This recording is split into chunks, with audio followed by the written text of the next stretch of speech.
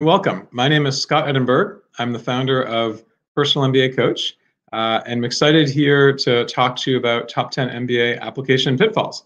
Uh, so thanks so much for for joining as part of the Spotlight series. I know we might have engaged on some uh, other events with with GMAT Club, and I will be joined by a former client and uh, Stanford GSB alum, uh, Sarab, who's just uh, running a little bit late from from a meeting, so he'll be he'll be joining shortly, and he'll talk a little bit about his experiences with us and then at, at Stanford uh, in general. So if you have any questions, please post them in the the comment section, and um, you know our folks at GMAT Club, myself, will be monitoring, and we'll answer any questions uh, towards the end of the the session. Often the Q and A is the most valuable part of this uh, this process and these presentations. So please ask any and uh, all all questions. So a little bit about uh, myself for those of you who I haven't had the pleasure of meeting so far. Uh, again, my name is Scott Edinburgh.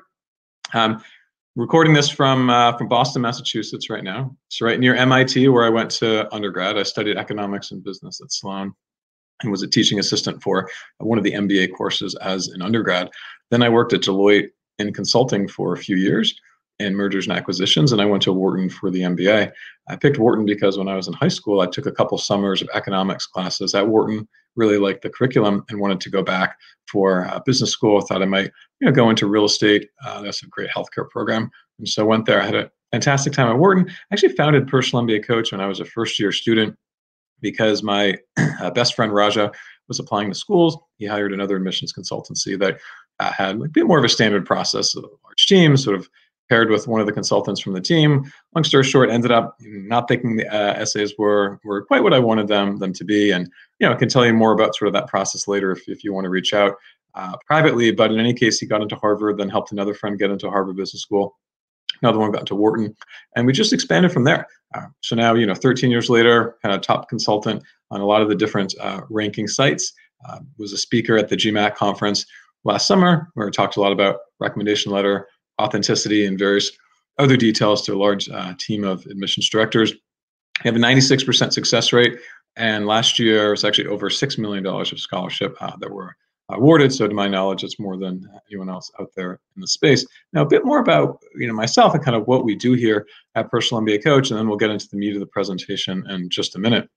So we offer complete uh, tutoring support for the GMAT, GRE, and uh, executive assessment and we have in-house software that we use to guide through the uh, system with like modules and sample questions, thousands of answers, full-length exams. Some time is really spent like teaching concepts, you know, teacher to student, how to think through these questions a little bit more efficiently. We'll watch you answer questions live, stop you along the way and say, you know, let's add this number here, let's move this over there. You know, here's how I might want to uh, think about this in a little bit more of a strategic way. And most people are doing like 20 to 30 hours of, of tutoring we do have former, uh, you know, Wharton and UCLA admissions uh, director support on our team. So for anyone that wants former uh, admissions insight, we do have that as well. And I'm on the board of directors for uh, AIGAC. That's the Association of International Graduate Admissions Consultants. And uh, happy to talk more about that, you know, separately. But you know, it's a great group of admissions consultants, and we have an annual conference with admissions directors every year. Actually, we do a lot of things. We even like analyze these fake applications and kind of determine you know, who's getting accepted and, and rejected. So we sort of see how they make their decisions. Now we help folks through early MBA planning. If anyone isn't applying now, you know, you're applying in a future year, let's say one or two or maybe even three years from now, usually one year out, and you want help to improve your profile. Like what are the things that you want to be doing?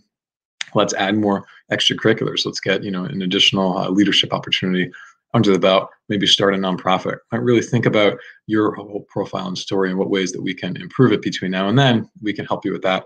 Um, and we also have uh, a team of former M7 uh, and even beyond, you know, top 10 and some top 15 uh, MBA interviewers on our team. So a lot of folks used to interview for many of these schools. Um, and so we do some great interview prep support. Last year, our interview conversion rate was anywhere from 70 to 85%, depending on uh, the school and that compares to the average of about 50%. Uh, so, you know, we do uh, quite well and have clients to network with at all of the, the top schools.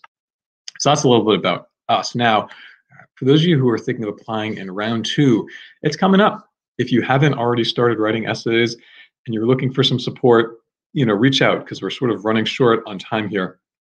You know, you have just about a couple months until you want to be wrapped up And ideally, you're not even rushing with edits in the last couple weeks or so. So now's really the time to get moving. It's a competitive year. Um, you know, a lot of people are applying. Applicant numbers are up across most of the the top schools, and it will be a, a tough year. You know, we have some initial results from you know some schools that have released information, and we've gotten a lot of great people in. But I will tell you, it's it's a tougher year than last year. Uh, it's a it's a very different world out there, and so you really want to make sure to put your best foot forward. Most people are applying to more schools. Last year, five was our most common number. This year, it's probably going to be six. We're seeing a lot of people applying to seven schools. You know, they're getting 10 or 20 points higher on the GMAT to try to overcome this uh, competitiveness. So pitfalls, right? One is illogical career goals. Now, a lot of people are looking to make, um, you know, pivots in their career. And I moderated a, a couple panels yesterday and a couple the day before on uh, career changes and you know making sort of career career pivots right? So if you are making a career pivot you know it's totally fine to do so. Um, a lot of people make you know uh, career kind of pivots and, and changes but when doing so you really want to make sure to explain it in a real sort of succinct way. So there are four different ways that you can pivot right? One is is industry one is uh, function the other is geography and the other is language. So let's say you're pivoting in all four of these ways. I really want to think through how are we communicating this, right? What is the reason behind this this pivot, um, and how can I convince an admissions director that this is the right pivot for me, this is the right move for me, and uh, I'm really going to be able to be successful in this in this endeavor. Now, overall, and I could talk for an hour just on goals. Goals are a really important part of this process, but overall, right, you really want to be uh, decisive and specific.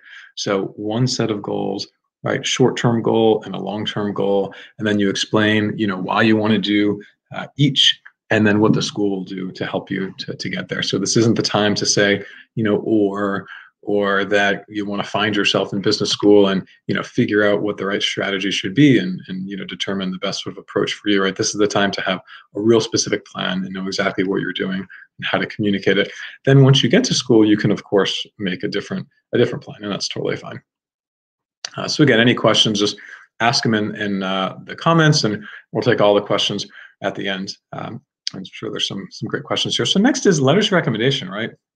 Pitfall is asking your company CEO to write your letter of recommendation. You do not need to ask the head of the company or the head of the group, the person that happens to be a Stanford GSB graduate, right? Pick people that know you, right? Pick people that actually believe in you, understand your background and what you've done, how you've succeeded, you know, how you've accomplished things. Right, these are the types of people that you want to ask to write your rec letters. The bar for letters of recommendation is really, really high, especially when firms like Personal MBA Coach get involved in this process. Because what we do is, for one thing, we can help rec- uh, help applicants to pick the recommenders. Then we have what I call our LOR one pager, which is like a cheat sheet guide that we work on and pass to the recommenders. Give them some talking points, right? Make it a little bit easier for them to write their, their rec letters. Then they go off and write the letters, and they might even share it with us. We do a review and we make some comments. You know, we're not editing the letters, of course. Recommenders do have to write it in their own words, but we can review and give some high-level strategic comments for things that they can do to improve the letters. And so once that happens, the letters end up being pretty strong. So you really want to find someone who is writing a very, very strong letter and super specific.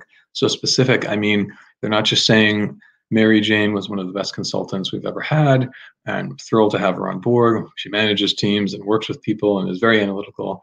And you'd be silly not to accept her at XYZ school. To me, that letter is worthless. That says absolutely nothing. And I don't really have a sense for what this applicant will actually do or what this applicant has done in her career uh, to date.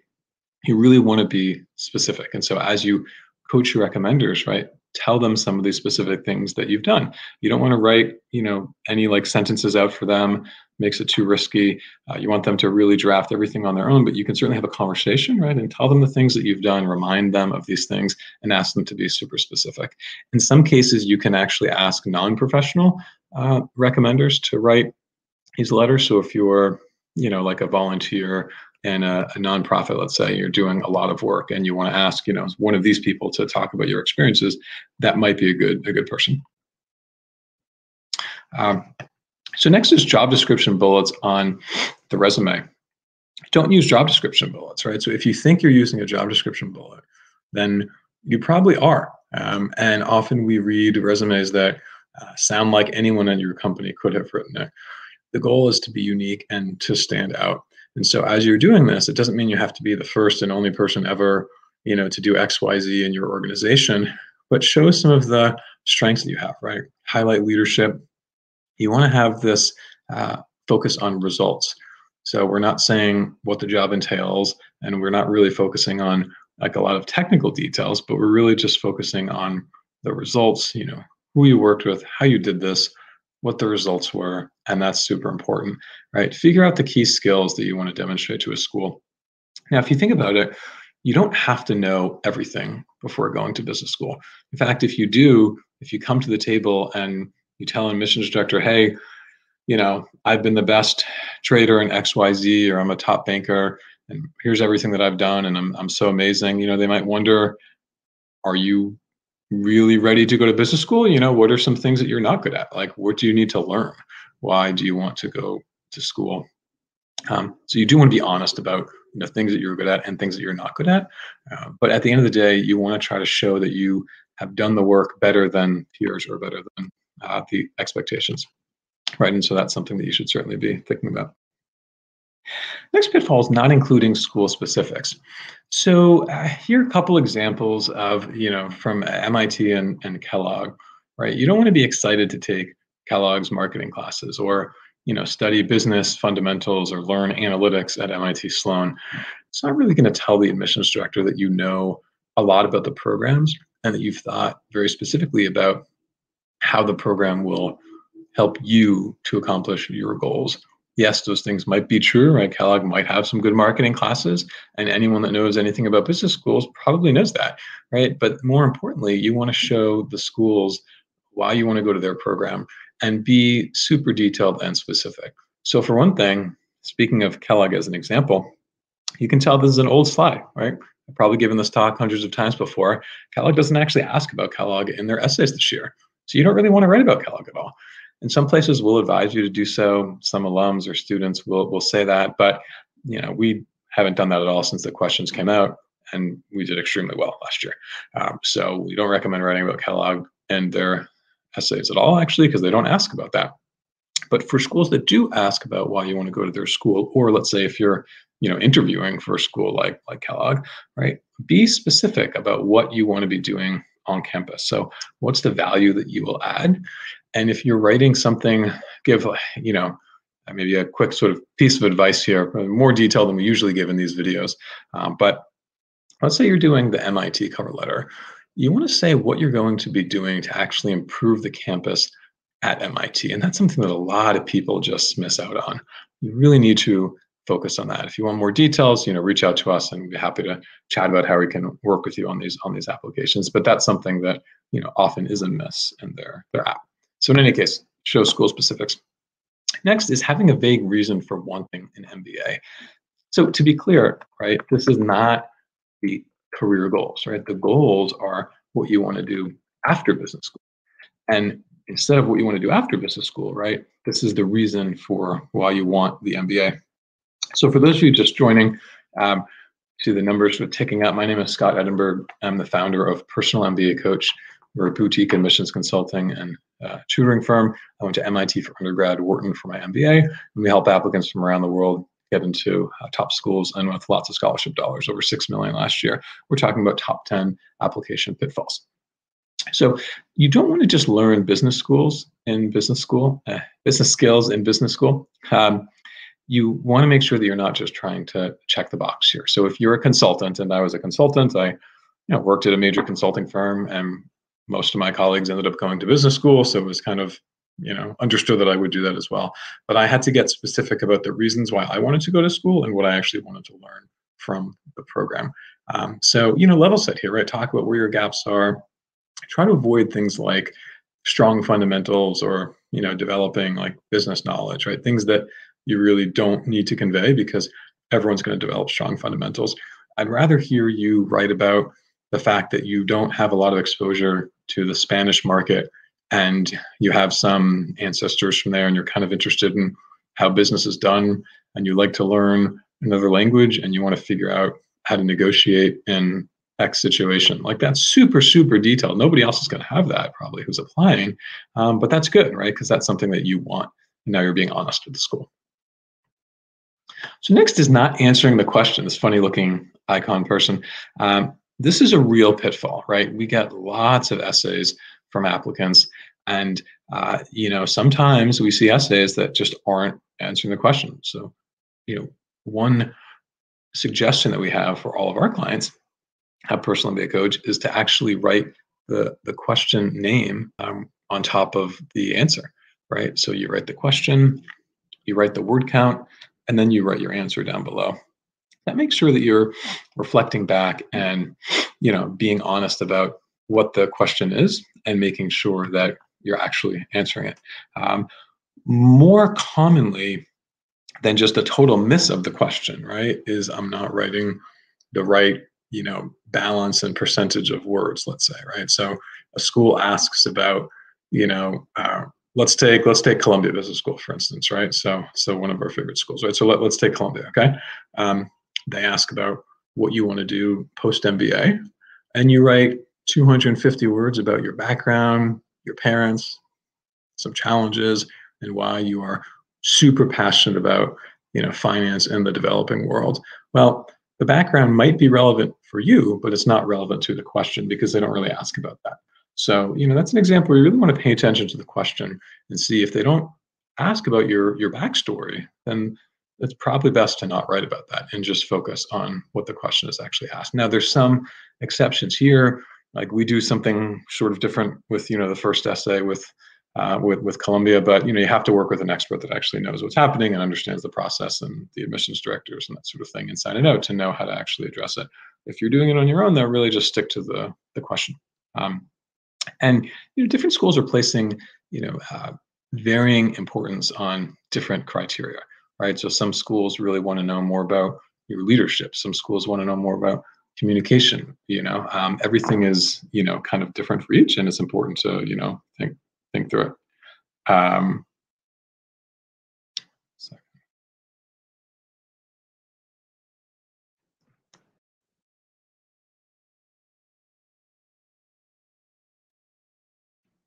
Okay. Um, so next is using uh, too many buzzwords right? You want to you want to try to not use buzzwords at all. I shouldn't even say too many. I should just say like you know don't use don't use buzzwords, right? Because um, they're not really helpful. Um, if there's a word that you know and that you don't think someone outside of your industry will know, um, then it's probably best not to not to use it.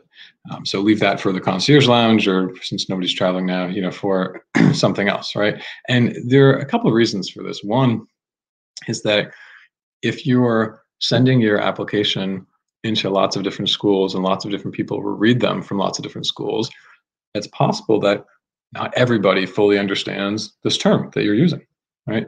Or otherwise, even if they do understand it, they might not actually want to read it, right? Because they want to test to see how you can communicate your experience um, and you know your skills and your life to different people. When you're in business school, you will be talking with students from a lot of different backgrounds, right? And so students come from, you know, all walks of life, and it's it's probably good to, you know, kind of test yourself to see how you can, you know, communicate um, to people that don't really understand what it is that you've done. So focus on transferable skills, right? Results, personal characteristics, etc. This picture probably has nothing to do with lack of consistency, but in any case, lack of consistency across the application, right? Uh, your application should paint a picture of one person, right? You're one applicant. Now, admissions directors read applications, and you know every school spends a different number of like minutes on on the apps, um, you know, specifically. But you know, by and large, right? They they read applications, they spend a certain amount of time on it, and then they go to committee, right? And so maybe one person is reading, um, uh, you know, like ten applications one afternoon, and then they go back and they have a meeting at 5 p.m and say, so tell me what you think. And so you have to make it easy for them to go back to the team and say, okay, like here's why we want Scott. Okay, these are the things that he's done. This is where he's from. This is what he's accomplished. This is what he wants to get out of the school. And he's really shown interest. You know, he's talked to a few students. He's gone to some of our events. He's pretty specific about what he wants out of the program. I can tell it makes sense. The goals are realistic. They're pretty achievable. You know, they're kind of aggressive, but like not too aggressive. And so I can see that he will be a, a good fit on campus for these two reasons, right? You don't want, even if you've done 12 amazing things, you don't want them all to sort of come out in this process um, because you want to be you want to be clear, right? We'll have one sort of key theme that's tying everything together. If the uh, application isn't consistent, it might seem like it's not super genuine and like you're trying too hard. But this doesn't mean you want too much repetition or too many red and white bikes. Um, you only have so many essays, right? You have a resume, maybe one essay, maybe two essays, maybe three essays, usually not more than three, but sometimes yes. Um, you have two letters of recommendation and you have an interview. So there's a limited number of areas in which you can, uh, you know, kind of tell folks about you, and you want to make sure that you're not repeating yourself too much. I had an applicant who um, got into MIT, Wharton, and Kellogg uh, last year. Um, and we sent more folks to all three of those schools last year than we've ever had before. Um, but in any case, this applicant had a really, really good project, right?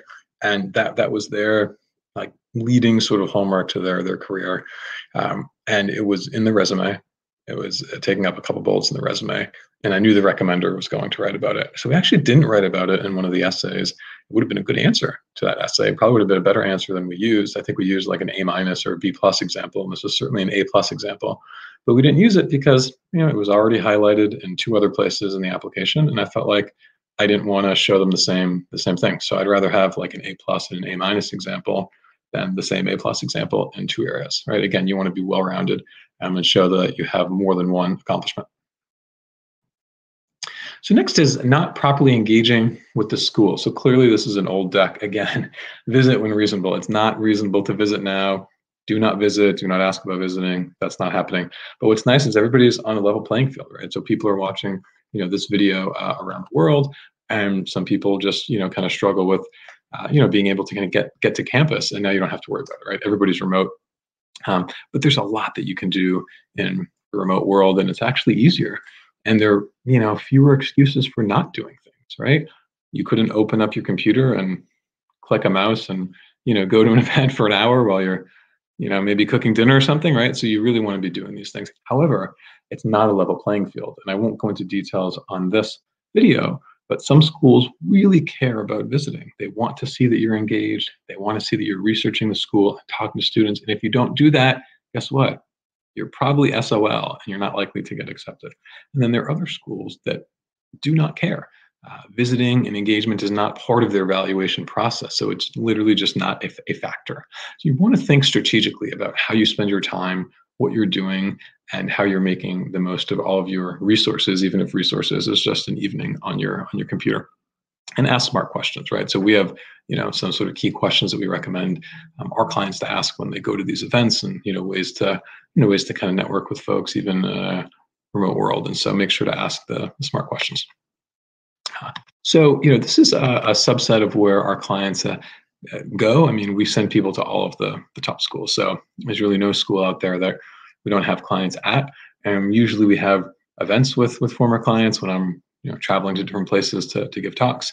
Um, so they're going to all the top schools and uh, again over six million scholarships last year. So for those who are just joining uh, a little bit you know late, I went to MIT, uh, worked at Deloitte, and went to Wharton for my uh, MBA. Um, you know, top consultant on many you know different sort of rankings, uh, and we offer complete service throughout the uh, entire process from you know tutoring early MBA planning, uh, interview prep with former MBA interviewers, um, and in case, some other other details that you can sort of rewind and listen to. Uh, again, I won't, won't, bore you with telling you the same things over and over again. Uh, so a little bit more about what what we do and how we're kind of going through the process. Right, the first step is brainstorming, and uh, this is a very very high level overview. So if you're interested in engaging with us and uh, potentially working together, then you know reach out and let's schedule time to have a uh, conversation. So you can just visit our website, personalmbacoach.com. My email address is scott, S-C-O-T-T, at personalmbacoach.com. And we'll go into much more depth in terms of our process. But, you know, we're doing tutoring, right? We're doing brainstorming, figuring out what your story is, selecting the schools. You know, we have template for the resume, so your resume can be as strong as it can be. We have guides for essays that show you what our secret sauce is 100 words on this 200 words on that really you know guiding you through what our strategy should be right we're doing uh, essay editing letter of recommendation guidance, interview prep with a lot of former interviewers, and we have a lot of templates uh, in place to help you through the whole process. So you're not just like sending essays to a consultant and kind of waiting for a response. We have a whole system with calendars and deadlines and tasks. So we keep things pretty pretty structured. Um, here's a little guide if you want to uh, download. So personalmbacoach.com slash kickstart sign up. And uh, you can also just you know visit the website personalmbacoach.com. You know, drop us a note, and we'd be happy to schedule time to have a, a consultation. Uh, so I'm going to go to some some questions now, and I'll leave on I'll leave on this slide, and then we'll flip over to, to questions.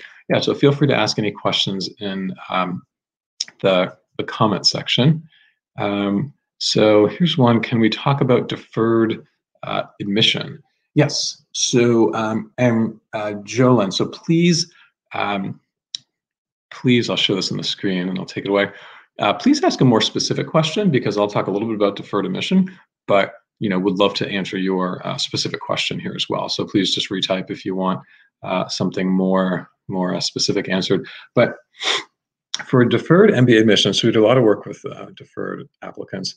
Uh, many schools offer deferred admission. This is for people that are in college and they want to apply while they're in college to secure, you know, a spot ahead of time for for the future.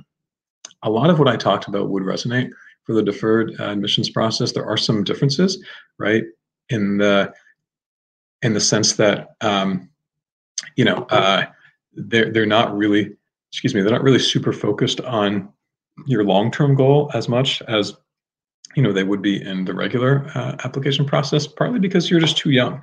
You know if you're looking for deferred admission you're likely a senior in college 20 years old and you know what you want to do when you're when you're you know 33 is uh, who knows right? Um, so don't worry as much about that but you really want to show them why you think that school is the right strategy for you and kind of even like more importantly you know why this is going to allow you to do different things, right? So, for instance, if you were going to McKinsey in consulting and you apply to Harvard through the deferred admission, um, you know, they might just kind of wonder, well, what if they say no to you, right? And they come back to you two or three years later, um, and then you you apply again. Like, would you still be applying? You know, so so some schools are really interested to see like, why do you want to get the acceptance now? What are you going to be doing that's different if you have that acceptance now versus if you don't have that? And that's an important thing to, to think about.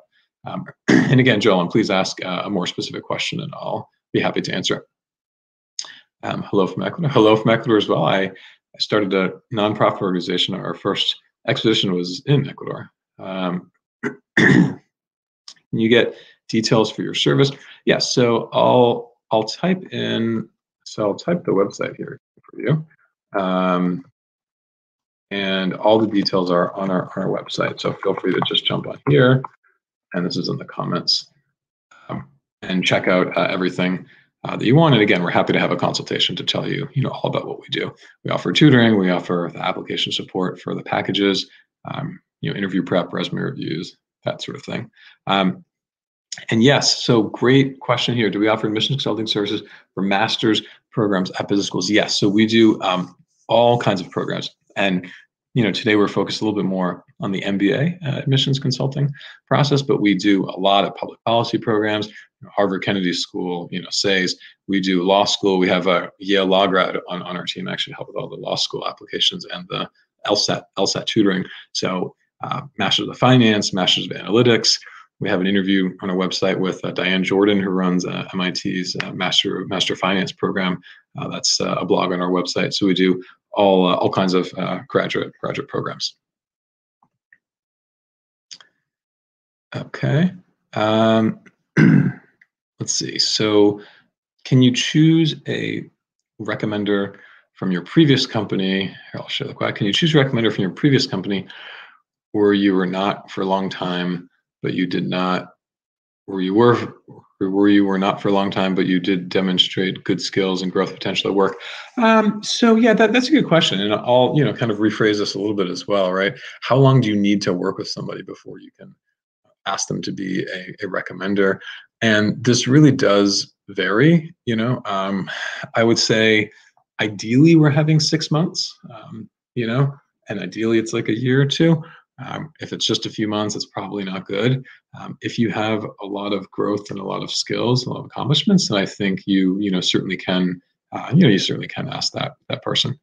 Um, but you want to try to not go too far back, right? If you've been working for six years and you ask, you know, someone who, um, you know, came, you know, uh, you you let's say you worked with them like you know five years ago, uh, and that's very early in your career. I might not go, you know, that far back.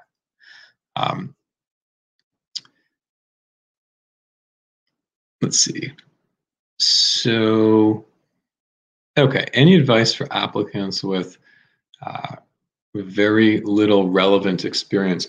Well, you know, so first of all, Jacob, I, I would say like, what is relevant experience, right? I mean, in business school, you need to do a lot, right? You need to communicate, you need to be analytical, you need to be influential, you need to make decisions, you need to take risks. Um, arguably, whatever you're doing, you have experience with like some of these things. So you might not be super analytical, let's say, um, but um, you know, I think your experience could be relevant even if you don't think it really is. Um, you know, um, so uh, the advice is think about what are the transferable skills, right? What are you doing at work or in education or whatever you're doing now in, in your life? You know, what are you doing now and how you know is that relevant for the, the business school uh, environment we have a lot of non-traditional applicants right we have people that come from family business we actually have expertise in family businesses um, we have people who are physicians uh, actually growing number from the medical community are are you know coming to us and want to go to uh, to business school. Right, we have people coming from the nonprofit world, you know, teachers, lawyers. Um, so even if you don't have relevant uh, experience or what you think is not relevant, you can certainly you know still be a leader uh, in your space and can then you know, make some great contributions to the business school uh, environment. Um, so who is a good candidate for writing your LOR? Partner at your firm, is it okay if it's a junior partner? Yeah, so that's a that's a great question. Um, I mentioned a little bit about this, um, you know, before earlier in the presentation. I know people are sort of coming and going here. Uh, so the title and the prestige actually doesn't matter at all.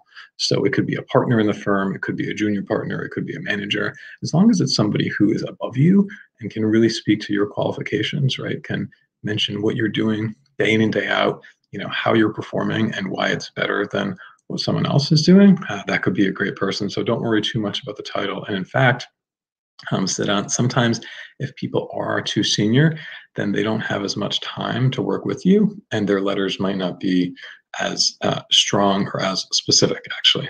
So yeah, don't worry. You know, don't worry too much about the the, the title here. Okay, so if one is working in a small firm, yet big impact work wise. And not traditionally feeder for MBA schools, how can one make their application attractive? Yeah, so if you're working at, at a smaller, you know, a smaller place uh, that doesn't send a lot of people to, to business school, which by the way is totally fine. Um, there's no problem with that. You know, I feel like if I were making this robotic person to apply to business school, I would probably create an applicant that you might not think I would I would create, right? It wouldn't be the I mean, I worked at Deloitte Consulting. Like, I might not be working at Deloitte. Nothing against Deloitte. I think it's fantastic, but we see so many really strong non-traditional people get in and you know be able to really kind of rise to the top. That I wouldn't worry about coming from a smaller firm. So, what should you be doing? A few things, right? One is you really want to show what you're doing day in and day out at work that might be different from someone who's working at a larger firm. Perhaps your friend is working in the same industry at a larger firm, and your friend is maybe sitting behind a computer doing a lot of analysis and doing sort of the same thing over and over again. Whereas you're not just doing the analysis, you're talking to the the contractor, you're working with with the lawyer, you're you're figuring out you know leases or something. You know what are you doing that's actually different and that's a little bit more. So that that kind of you know falls in line with like the you know responsibility, right? If you have you know more responsibility and you know what you're doing kind of day in and day right highlight this responsibility um, show them your your progression and you know more specific, more importantly rather you know why why this is the right you know decision for you right why are you going to apply to, to business school now um, Okay, so if I work at a consulting firm as a knowledge consultant, will be compared against strategy consultants as well? Yeah, so that's a great question. Um, I'd love you to send me across your resume so that I can give you real specific feedback on your profile and how you can, you know, compare to others and what schools you might want to uh, compete for. I think that would be most helpful for you. The the quick answer is, you know, there's probably a little bit of a, of a difference there. And I would say if I'm looking at competitiveness, um, you know, of a knowledge consultant and you know someone working in strategy consulting at you know a top firm, there might be a little bit of a of a, of a difference. But I do want to look at everything together because the firm is only one thing, and sometimes we have you know examples where someone you know is working in maybe like a mid office you know role or even a back office role but what they've done is super impressive. And so in some ways they're actually a stronger applicant than someone who's in, in a front office front office role. Um, but you're probably directionally accurate there um, how can I make up for a lack of extracurricular or volunteering in recent years? So yeah, that's a great question. You know, we have we have these early MBA uh, planning packages, and I, I, I mentioned that you know a little bit a little bit earlier, where we guide people through what they should be doing to perfect their profile, you know, between now and when they're uh, ready to to apply, right? And so you can do a lot. I mean, you can start new organizations, you can find new leadership opportunities at existing organizations. I love working with people who are early on because the the world is their oyster, so to speak, and we can you know decide what we can do to improve their profile and uh, their resume. Now, it depends when you're applying. You know, if it's end of October and you're applying in the end of November, you're applying to Stern and you're submitting on November 15th. I mean, we really can't do that much with you. You're, you sort of have what what you have. Um, but if you are planning ahead for the for the future, then there's definitely a lot that we can do to improve your, your profile.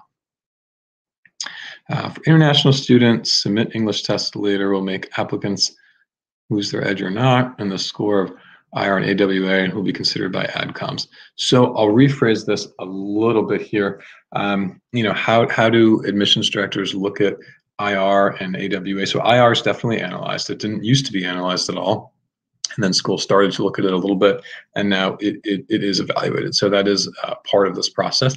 Now is it super important? Is it the most uh, crucial piece? I would say no. You know this is where the quant score is going to be a lot more important but the ir is definitely evaluated. Awa is looked at in conjunction with your your essays. So you know if if your writing is very strong and obviously you know if we work with you we can we can help you with that that portion. Um, and your you know awa is good but not amazing it's probably okay. You don't want huge discrepancies so you don't want an amazing awa and then you know really poor essays nor do you want perfect essays and a very low awa that would sort of call call question. Um, but they are parts of the the process. And as far as the timing for submitting like a TOEFL or or an IELTS, I would just follow the school's direction, right? If a school is going to take a late TOEFL from you, then I would go with it, and I would you know take it whenever you want to take it, as it would kind of make sense. Um, so, which schools in M7 place a higher emphasis on leadership skills? You know, I mean, Harvard is the most you know well-known school that that really talks about leadership a lot, and so I would say that's definitely one that appreciates leadership. But truthfully, all schools want leaders, right? If you think about it, they're educating you to, you know, improve yourself, improve the community. You know, Yale has this like for business and you know society. Um, I don't think that there's you know one school that's necessarily really focused on leaders, and other schools are not focused on on, on leaders all schools want you to be a leader and uh, to show your leadership experiences to date. But if you think about what the school is known for, maybe how analytical the program is, right? If you have super strong analytical skills and you've solved lots of problems, but they've always been at the, you know, like supporter role and you haven't led anything, well, then your argument could be, well, now I'm going to school to learn how to develop those skills to be a leader. So, you know, take this with uh, with a grain of salt, let's say here. Um, so here's a question. I might apply to MBA deferred programs. I worked at a leadership level in an NGO. Great. But the schools ask for two LORs, one from academics and the other from professional, and I did not do any internship. So this sounds like a very specific question. I, would I'd love to tackle with you um, offline. The one thing that I can say here, sort of publicly, without knowing more about you, is that um, you know if you're leading in an NGO, that certainly sounds like uh, a professional role. So that could count as the professional letter. Professional does not have to be you're working at Goldman Sachs in investment banking. You know, working in an NGO certainly counts um, as professional work, and so you could get a letter from that. Um, oh, great to see you. Thanks for thanks for coming in. Uh, so, is a recommendation from a mentor uh, for your whole career, but you worked with formally early in your career with an informal working relationship to date a good recommendation um, so i would say potentially right potentially that's a good that's a good person to get a recommendation from it depends how closely they've followed you and how they can talk to your performance versus others. But honestly it also depends like who else they're mentoring and what else they're doing. So if this is somebody who happens to be an executive at you know roche let's say and you've been following them and they're a family friend of yours and they you know talk about your your performance and, and how you've sort of progressed through your career. Um, just sort of talking about you but they haven't really done this for other people. That might not be a good person. But if this is someone who's more of like a career mentor you know they, they do this for you they do this for lots of other people they've guided you through they've given you hard feedback you know they've, they've criticized you you've really grown through this relationship then that person could be good. So i would be a little bit hesitant to be honest um, from what I'm hearing, but it's definitely you know possible uh, that this could be a good person to ask. And we can certainly talk more about that offline. I had a small business with a couple of friends in university for around 18 months. We did 10 to 15 projects. How does that help my profile? We made some money and shut the company and uh, before graduating. Well, so that shows that you have some entrepreneurship experience, right? You started something, you know you grew it to some level 10 to 15 projects. I don't know what, what the size of these projects are you know but certainly you've you've you've done work um, and then you've probably managed some other people along the way. I don't think this is going to be a game changer in your applications to be honest but i think it certainly does show a little bit of initiative uh, and it shows that you know how to you know start things from from the ground up. So it's definitely good to mention. Um, i don't think i would make that the hallmark of your application though. I'm 33 years old with eight years of work experience regarding those facts, what are my possibilities to be admitted to a top 10 program? So uh, please reach out, send an email, scott at personalmbacoach.com. We'd love to do a profile evaluation separately. I would need to know more information about you um, to determine whether you can get into a top 10 MBA program. But what I can say is, you know, if you have eight years of work experience, you're still in range. So you can certainly apply. You are a little bit on the more experienced side. Schools do look at the years of experience. They don't evaluate age. So they would be looking at the years of experience. And if you have eight now, then you would have nine upon matriculation. So you are sort of, you know, pushing it at a at a full-time program, but we definitely send people with nine years of, experience. I would want to see really strong GPA, really strong, you know, test scores, uh, and like strong work experience um, itself. So so reach out and give me some more information, and we can chat offline. So another question about older applicants.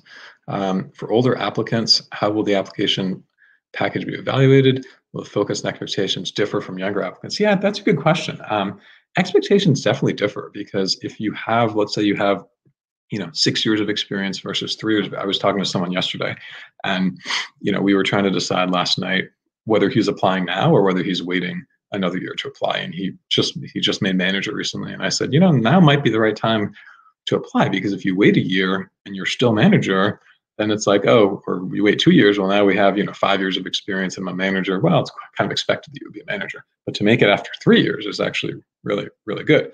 Um, so there is more of an expectation for you to be more successful as you have more years of experience. And there's also a bit more of an expectation for you to know what you're going to be doing in your career and your plans to be, you know, a little bit more solidly sort of uh, you know laid out. So you know that that's something about the expectations. I would say there's a little bit less of an expectation from an like academic ability, but not that much less. So don't take that and run out and say, no, I don't need to take the GMAT. Scott told me it doesn't matter. Um, but you know, younger applicants tend to be a little bit stronger um, academically, on average. Is it possible to get accepted to top tier schools with a 2.8 GPA and a 710 GMAT? So I would need to look at more details in your entire application to determine that. What I will say is it is a very competitive year. Um, you know, this is a hard year. Like last year was certainly an easy year. Most people got in. This is a tough year. So if I see 2.8 and I see 710, I'm I'm probably going to hesitate. Um, that said, you know, I want to know what is your definition of a top tier school. I want to know what you've done from a professional standpoint to evaluate that. But I would say you certainly do want to think about retaking uh, the GMAT as a starting point.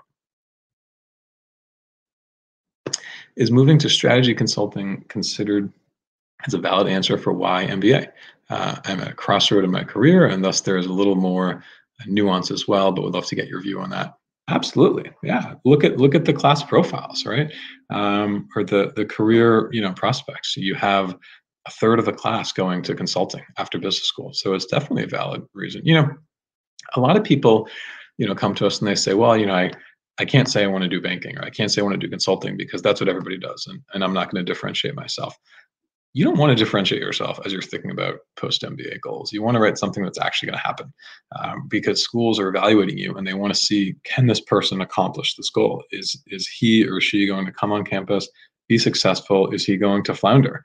You know, is he going to be in our career services office every week wanting help and we don't have the resources to help him because he doesn't realize that he actually can't be a partner at a, at, at you know an XYZ firm immediately after graduating when he's done nothing like that, you know, beforehand, right? So you really want to think about the, the realism of these goals. Strategy consulting is a, probably a fine goal for most applicants, right? Because consulting firms don't need tons of prior relevant experience. They teach you what they want you to be, be doing. Uh, hi, as well. Thanks for the, the, the call out. Um, okay, so what should undergraduates focus on now during their second and third year, especially since gaining hands-on experience in internships is together for applying three or four years later. Yeah, so this really depends on the applicant. Uh, you know, this is why we have these early MBA planning packages to guide you individually. There's not one particular thing, but I would say focus on trying to define your story, right? Think about who you are, you know, what are some things that you want to be doing to contribute to society? Are you, you know, focused on technical work? Are you focused on you know, business work? So it's, it's really tough to say um, specifically. Um, yeah, a mail ID. Yes, absolutely. So here, let me switch slides and I'll go to my contact info. Okay, so there's my contact info. Uh, Scott at personalmbacoach.com. I will post it here and then I'll also post it. Let's see, I know how to do the banner, so I'm going to create a banner a banner and show that. Yes, so here's my email address. I'll leave that up there for a little bit.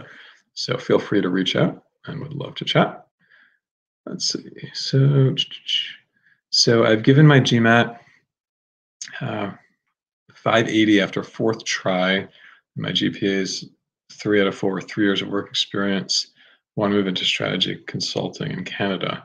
Um, so I think you probably, I mean, depending on what schools you want to go for, I think you probably want to keep moving with the GMAT. I know after taking it a few times, it's super stressful and it's you know tough to sort of uh, keep moving. But look us up. We have amazing tutors. We can definitely help you to improve your score. I think you want to you want to keep moving um, to try to get your score a little bit higher so you can be more competitive, especially in a, a challenging year. Um, okay, I'm currently in IT audits with three years of experience. And okay, so I think that was the, yep, so we had that. Um, how different are full-time versus part-time applications? Yeah, that's a great question, right? So we do a lot of uh, both full-time and part-time applications at Personal MBA Coach. The applications are not terribly different. You know, what is different is you want to convince the schools that there's a reason for you going part-time right? So you know why are you you know why are you kind of going going to school um, and working at the same time? Why not take a break? Or maybe vice versa. So they want to see what you're going to be giving back to your your company. They want to see what your you know track record is like at the firm and what potentially some future opportunities you know look like for you at the job.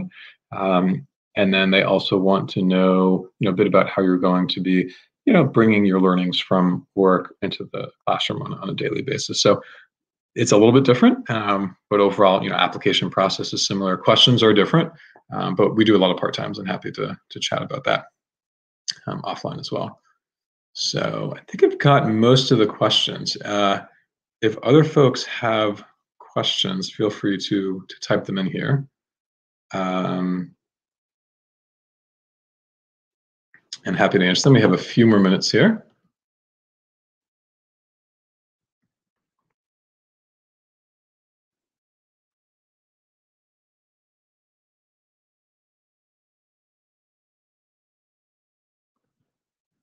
and I'll just give some other, you know, words of advice as a couple more questions are, are coming in. Right, as you're thinking about your process and Uh, timing, I hear from a lot of folks, you know, is this the right year for me to apply? It's a competitive year. You know, I don't know if, if it's, you know, sort of worth it. People were deferring that, that sort of thing. Think about your timing and your profile more than what else is happening around us. Because if it's the right time for you, you know, you have four or five years of experience, you feel like you're kind of plateauing a little bit in your career, you want to do something different, you're sick of doing X and you want to go on and do Y, it's a great time to be applying. Uh, it's a really a long-term investment here. So don't focus so much on what's happening, you know, today. Um, as far as the competitiveness, it is a tough year. Numbers are up. You know, more people are applying. It is going to be harder to to get in this year for sure. And there was a lot of speculation right early, and I, have been giving talks on all this stuff like all year, you know, since January and February. What's happening? It was all speculation. Now we have numbers, right? We we see what's we see what's happening. You know, we're we're sort of figuring out what's what's going on in the space. So it is a tough year, but I'm not sure that next year is going to be easier because this year you still have some people that are not sure because of COVID and because of everything that that means, and some potential like you know remote learning and, and distancing and all of that you know there are some people that are like hesitating and next year, if the situation does improve from a medical standpoint, then they could all sort of jump into the mix as well. So I don't know that it's really going to be getting a lot easier. Uh, and so I would just apply when it's the right time for you. That said, if you're really early in your career and you, are thinking of jumping in, you know, may, maybe maybe wait a few years, um, you know, for things to kind of settle out. But I don't know that from one year to the next, we're really going to have uh, much that's that's actually uh, different here. So let's see. Um, Okay, so I've lived in Central European country for over four and a half years, then multiple project work across Europe. How will that bode my international experience? Is that a significant advantage? Yeah, it's it's always an advantage to have experience working in another country. So depending on where you're from, I don't know if you're from India, but let, us say you are, and then you have some experience in Europe. I think that's better than you know staying in, in Delhi for your whole life and, and, and career. So I think that's definitely part of the process. Um, and we can chat more about that offline, but I do like the international exposure. Um, how good are the MBA prospects in Harvard, Stanford, Wharton with a GRE of 325 for an Indian engineer? I'm top tier and working as a fellow with Indian government and development sector. So without knowing more about you, what I can say is 325 is low uh, for an Indian applicant to the top three schools, especially in a really competitive year. So I would recommend that you try to bump that up further before applying it. Could you get in anyway? Certainly. Once I know more about you, I would be able to weigh in on that in, a, in a little bit more detail. Um, but I think that uh, you know, just from what I see right here, I would I would try to bump that score up a little bit more. Um, let's see. So would you suggest you try with a quantitative course to show showcase the quant abilities if you're not sure if your GMAT will will increase. So yeah, so for someone that maybe has reached the wall in their GMAT studying, and and for everyone there's a a ceiling, and it's really tough to to go past that. First of all, try with us. I, am confident that we can help you to raise your score even a little bit. But let's say you're at that at that ceiling, then taking other quant classes is a smart thing to do. I like taking classes at uh, Berkeley and UCLA online they're reasonably priced. They're easy to sign up for. They have a lot of different options, and the uh, availability is pretty flexible. So taking a few classes and getting A's would be one way to show the schools that you do have some analytical abilities, and you can you can demonstrate that. Now that said, uh, most of the sort of brownie points come from the exam, so it's not enough to say like get a really low score, take four classes, get A's, and then think that you'll be getting accepted. Probably still won't happen you know, but it is nice to, to supplement. I like to say courses count for like maybe 20% and the GMAT is 80% or maybe even 90%. And courses are maybe like 10, 10 to, to 20%. So, so yeah, so have time for like maybe a couple more more questions here as we as we kind of wrap up but really appreciate all the questions i hope everyone is you know staying safe uh, staying as healthy as, as you can these days and again if you want to reach out you know, Scott at uh, personalmbacoach.com. Feel free to reach out. We'd be happy to to chat further. I know some of you asked for the information, so now I've posted the email address on here. And watch for us for other videos.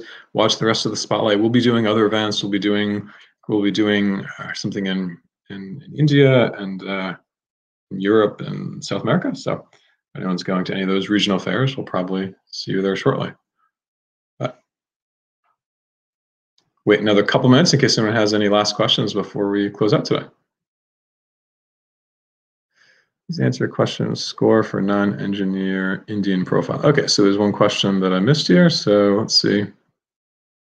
Um, so for Indian applicants, how does top five to 10 percentile translate to a GPA? Also, what's a good GMAT score for a non-engineering Indian male profile? The standard for Indian engineering male is much higher. So I think that if, if, if you look at you know school sort of classes and profiles overall yes engineers are more competitive than non-engineers but if you're an indian male from india applying i don't think that you have a different gmat requirement if you're an engineer versus not an engineer. I don't think that's the case.